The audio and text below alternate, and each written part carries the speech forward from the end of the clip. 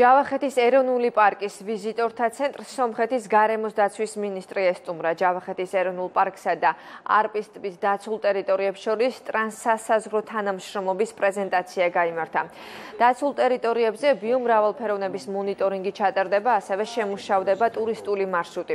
ჯავახეთის ეროვნულ პარკში ველურ ბოლაც გამართა.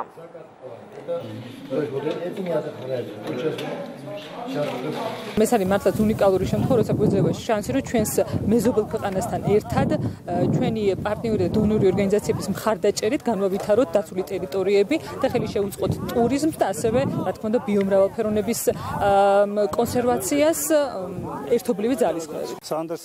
ეს პროექტი არის ტრანსსასაზღვრო თანამშრომლობის პირველი მაგალითი ჯავახეთის ეროვნულ პარკსა და არპის ტბის დაცულ ტერიტორიებს შორის. მდგრადი განვითარების სტრატეგიის გამოყენებით ჩვენ გვეძლება შესაძლებლობა რომ გავაგრძელოთ თანამშრომლობა დაცული ტერიტორიების მართვის სფეროში.